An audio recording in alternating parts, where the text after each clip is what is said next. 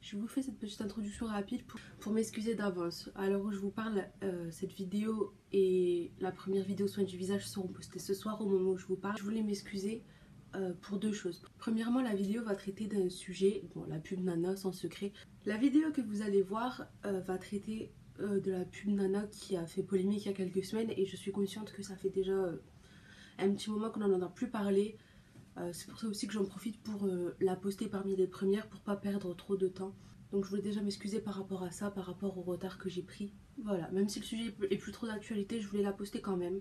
Et je voulais aussi m'excuser pour une seconde chose. Vous remarquerez à peu près mi-vidéo qu'il va commencer à se faire un décalage entre le son et l'image. Alors j'ai essayé de trouver une solution, j'en ai pas trouvé. Et je peux pas me permettre de perdre encore plus de temps en la remontant encore une fois alors qu'il m'a fallu déjà plusieurs heures pour la faire. Donc je vous demande de m'excuser pour tout ça et de vous concentrer principalement sur le message de fond et pas la forme. Voilà, en espérant que ça vous plaira. Soyez pas trop dur avec moi, c'est mes débuts. Mais en tout cas, j'ai essayé de faire de mon mieux pour, euh, pour commencer. Voilà, bonne vidéo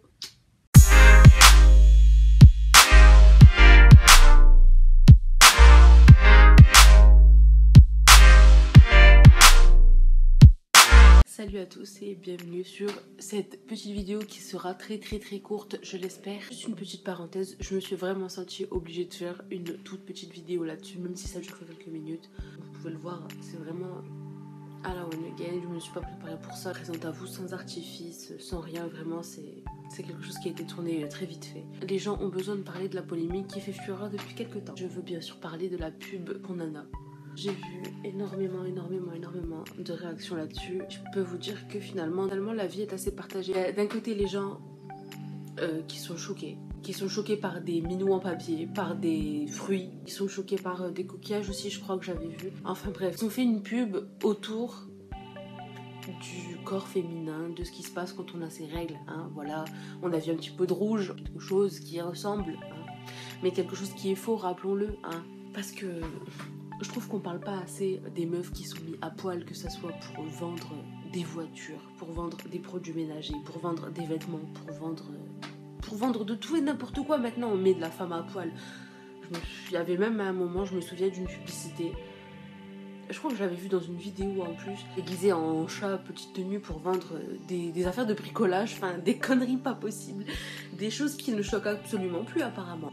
Que ce soit pour les publicités, que ça soit pour se faire vendre entre guillemets nos jours. C'est extrêmement rare d'avoir une femme connue qui n'a jamais sorti euh, un bout de son corps, ce qui n'est pas spécialement une bonne chose parce que je peux en fait on peut on peut concevoir le fait que le corps de la femme ça soit quelque chose de beau tout ça, que c'est quelque chose d'assez artistique. Voilà, il y a des jolies formes, il y a des jolies choses à voir. C'est quelque chose de beau le corps humain finalement.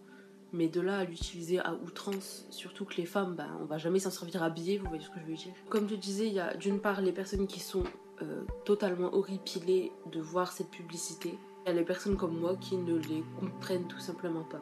D'une part, à parler du fait du rouge, est-ce que ça vous semble normal d'inculquer à vos enfants le fait qu'une femme perde du liquide bleu par exemple. Enfin, je veux dire, les, enfants ne comprennent pas ce qu'ils voient à la télé. Ils ne comprennent pas. Il y a énormément de parents qui se sont plaints et leur argument ça a été oui, euh, mon enfant n'a pas à voir ça. Oui, euh, mon enfant a vu ça, ça l'a choqué à vie. J'ai lu des choses, mais je comprends pas en fait. Les gens préfèrent qu'on se cache derrière euh, cette magie de la publicité. C'est pas normal.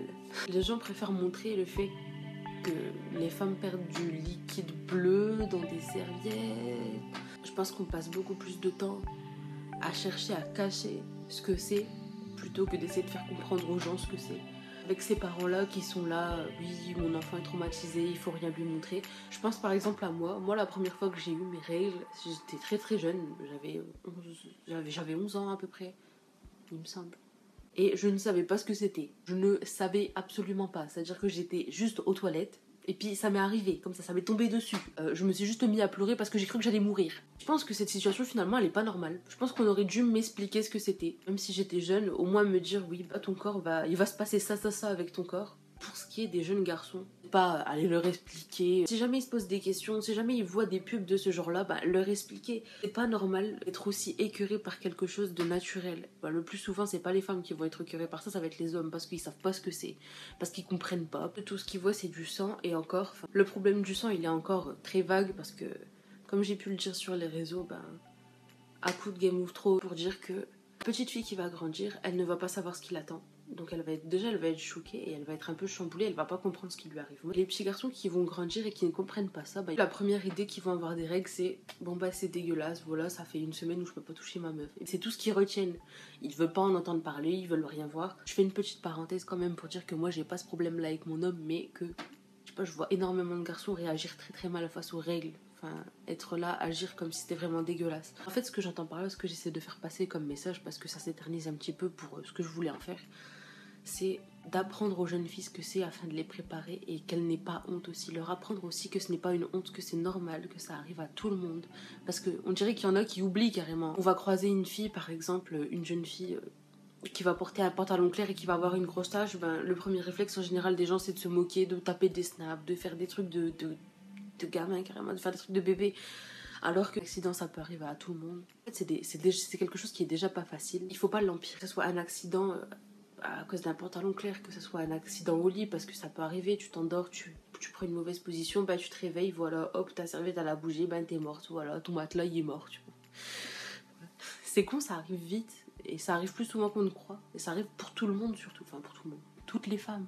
Je peux dire toutes nos sœurs finalement, parce que de nos jours, les filles, ce qu'elles aiment bien faire, c'est se clasher entre elles pour se valoriser aux yeux des garçons, alors ça, c'est pas possible c'est pas possible. Je sais pas, soutenez-vous entre vous, dites-vous bien que la fille qui est en face de vous et qui aura cette tâche, bah, ça pourrait être vous, tu vois. Je pense que t'aimerais pas ça te snapper, qu'on commence à montrer. Euh, je pense que ça plairait à personne. C'est pareil pour les petits garçons, leur enseigner. Je pense pas que ça serve à grand chose d'aller directement les voir et de commencer à leur faire un petit cours et tout. Je pense pas que ça serve à grand chose, mais si vous posez des questions, si vous voyez vos enfants faire des commentaires par rapport à ça, enfin essayez de les cadrer, essayez de les remettre dans le droit chemin. Les règles c'est pas quelque chose d'honteux, c'est pas quelque chose de sale. C'est quelque chose qui permet de donner la vie finalement. Je suis en train de parler sur le plan moral parce qu'il y a eu une polémique sur la publicité, mais il y a une vidéo qui est en cours sur les règles en général, sur ce qui se passe dans notre corps, sur le pourquoi, pourquoi ça fait mal, pourquoi c'est dur, qu'est-ce que ça représente pour notre corps? Tout simplement, pourquoi est-ce que c'est là? Et essayer de faire ça un peu plus rapidement. Pour ceux qui ne sont pas d'accord, il faudra vraiment revoir vos arguments parce que finalement, comme je vous ai dit, les arguments que j'ai pu voir, c'était oui, c'est inapproprié pour les enfants. Encore une fois, l'enfant ne va pas comprendre ce qui est bien, ce qui est mal. Il va juste se référer à la vie de ses plus grands, de ses parents, de ses frères et sœurs, de ses cousines, de ceux qu'il va voir. Et c'est les grands qui vont instaurer dans la tête du petit, ouais, ça c'est pas bien, ça c'est bien, ouais, ça ça fait ça, ça c'est pas bien, ça il faut le faire, ça il faut pas le faire.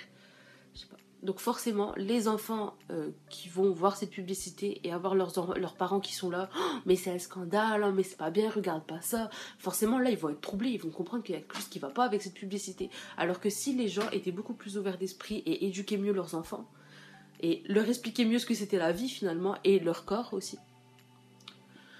ben on n'en serait pas là finalement comme je vous l'ai dit, les enfants ils comprennent pas. Pour eux, ils voient pas des minous à la télé. Petite parenthèse, du coup, ça a été démontré que parfois l'enfant ne fait même pas la différence entre le programme qui passe à la télé et la publicité. Il pense que c'est la même chose. L'enfant peut être totalement en extase devant une émission, tout comme il peut l'être devant une pub, c'est-à-dire qu'il va la regarder et puis c'est tout.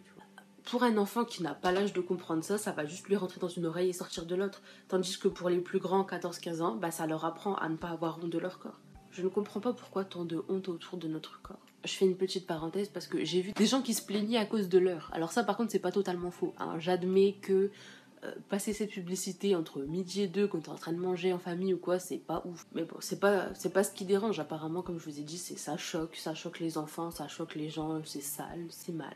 Mais le truc que je comprends pas, est-ce que ça, ça choque alors que, encore une fois, c'est du papier, c'est du coquillage, c'est des représentations, ce ne sont même pas des vraies femmes. Alors qu'on va prendre une femme, on va la dénuder pour vendre, n'importe quoi. Pourquoi est-ce que ça, eh ben ça, personne n'en parle. Pourquoi est-ce que ça ne choque pas? Pourquoi est-ce que l'hypersexualisation des femmes aujourd'hui, est-ce qu'on n'en parle pas plus que ça? Pourquoi est-ce qu'on ne parle pas des plus petites qui sont déjà en train de prendre exemple sur les plus grands? Pourquoi est-ce qu'on ne parle pas des 2004-2005 qui sont déjà plus féminines que moi, qui suis une 2000 et qui va avoir 20 ans à la fin de l'année? Ça, on n'en parle pas assez. À un moment, aimez-vous, aimez votre corps, arrêtez d'être gêner parce qu'on a tout le même, tout, tout, tout, tout, tout le même. Acceptez-vous, aimez-vous et, et n'ayez pas honte de vous ou de votre corps. N'ayez pas honte. De toute façon, euh, je compte bien reprendre ce sujet. Comme je vous l'ai dit, il y a une vidéo qui est en préparation à propos du corps féminin. Que ça soit sur les poils, que ça soit sur les règles, notre système reproducteur, comment fonctionne cette merveille de la nature. Parce que finalement, c'est quelque chose de merveilleux et non de sale, on le rappelle. Je suis bien d'accord que tout le monde a son point de vue et qu'on peut pas être d'accord sur tout, mais il y a un moment, il faut arrêter. Ça me touchait vraiment de faire ce petit bout de vidéo parce que j'ai vu euh, d'autres femmes faire elles-mêmes des vidéos pour dire que c'était abusé, que c'était euh, irrespectueux, que c'était, je sais pas, limite de la pornographie, alors que ça, limite, on en voit beaucoup plus que euh, une fois qu'il s'agit du corps naturel de la femme. On va voir un bout de nichon, il n'y a pas de souci. On va voir un bout de, un bout de fesse, il n'y a pas de souci. Par contre, on va voir un bout de règle, là. C'est tout simplement pas possible de continuer comme ça. Arrêtez de mettre les femmes dans l'embarras et apprenez aux garçons ce que c'est. Apprenez aux garçons que ce n'est pas sale et que. Rappelez-leur que c'est par là qu'ils sont passés et que si on n'avait pas nos règles, eh ben, on serait tout, tout simplement stérile en fait. On pourrait tout simplement pas vous faire d'enfants. Donc, comme je vous l'ai dit, solidarité entre femmes. Les règles, c'est naturel. C'est pas quelque chose de sale. Les garçons, on vous oblige pas à, plonger votre tête dedans. Arrêtez de rendre la chose euh, absolument grave, absolument à cacher. Il faut arrêter de mentir aux enfants aussi. Moi, personnellement, je pense que je préférais que ma fille une réalité et qu'elle n'ait pas honte de son corps parce que finalement si ça passe à la télé ça veut dire que ça arrive à tout le monde. Ça veut dire elle se sentira pas gênée. Ça veut dire elle sera pas là euh, à l'école euh, en train de sortir des toilettes du collège en tremblant dans ce petit truc comme ça avec sa petite serviette avec l'emballage vert fluo. Ah, parce que ça c'est vrai ça tue ça quand même. Ça j'ai jamais compris pourquoi est-ce qu'on était là tout discrète alors que nos emballages souvent sont fluo et brillent dans le noir encore un très très bon questionnement. Mais voilà, je disais, je préférais que ma fille voit des choses vraies et qu'elle se sente plus honteuse qu'elle se sente femme tout simplement, qu'elle se sente normale, plutôt que de lui rentrer dans la tête que je sais pas, qu'on perd du liquide bleu. Personne ne comprend, hein, ça personne n'a jamais compris. Les idoles d'aujourd'hui, qu'est-ce que c'est? Du Kim Kardashian. Est-ce que vous vous souvenez pourquoi est-ce que Kim Kardashian elle est connue? Hmm? Hmm? Euh, Tout ça pour dire que, que, ce débat est inutile et à perte parce qu'on glorifie l'hypersexualisation dans des pires domaines que ça arrêtez de montrer que ce qui vous arrange en fait. C'est soit la femme au complet, c'est soit bah tu prends pas de femme du tout et puis c'est tout. Voilà, les filles, je suis pas en train de vous dire euh, ouais ça y est, pump it up, tout le monde a le droit de voir. Et les garçons c'est pareil, je vous le rappelle, on vous oblige pas à plonger votre tête dedans. Mais juste arrêtez de casser les couilles aux gens, arrêtez de mettre la honte aux gens, arrêtez de leur faire croire dans leur tête que c'est pas bien. Arrêtez de faire croire aussi que ça va traumatiser les enfants parce que les enfants ne comprennent pas. Et s'ils veulent comprendre, eh ben expliquez-leur la vérité tout simplement, expliquez-leur. Tout simplement parlez avec vos enfants. Bon, euh, ça, fait, ça fait déjà un petit moment que je tourne, mais je vais tâcher de m'arrêter parce que là, on est déjà à 25 minutes de. On est à peu près à 25 minutes de, tournage pour quelque chose qui devait durer genre 10 minutes. Bon, je pense qu'au montage, ça rendra 10 minutes à peu près. Mais bon, souvenez-vous de ce que je vous ai dit. Ne faites pas à quelqu'un ce que vous ne voulez pas qu'on vous fasse. Je pense que si tout le monde partait de ce principe-là, on aurait déjà beaucoup moins de problèmes. Avec euh, ce petit bout de vidéo, j'espère avoir réussi à entendre ma voix un tout petit peu. Même si je suis encore une fois consciente que chacun a son avis, tout ça, mais je pense qu'il y a certains sujets comme celui-là où l'humain, bah, il devrait pas se poser 10 milliards de questions. En tout cas, j'espère vous retrouver très bientôt. Comme je vous l'ai dit, il y a des vidéos en préparation sur le corps de la femme. Autant que là, c'était juste par rapport au débat de la publicité. Autant j'aime au niveau vraiment physique, corps de la femme, par exemple les poils, les poils, pourquoi est-ce qu'on en a Pourquoi ils sont là Qu'est-ce que ça fait quand on les rase Qu'est-ce que ça fait quand on les épile Qu'est-ce qui se passe en fait dans notre corps tout simplement Pareil au niveau des règles, pourquoi c'est là Pourquoi ça fait mal Pourquoi ça arrive à tel laps de temps Est-ce qu'on peut les arrêter? Voilà, différentes questions qu'on pourrait se poser sur notre corps. En tout cas, j'espère avoir réussi à exprimer mon petit bout de voix. Et je vous souhaite à tous une excellente continuation jusqu'à la prochaine et vous retrouvez très bientôt.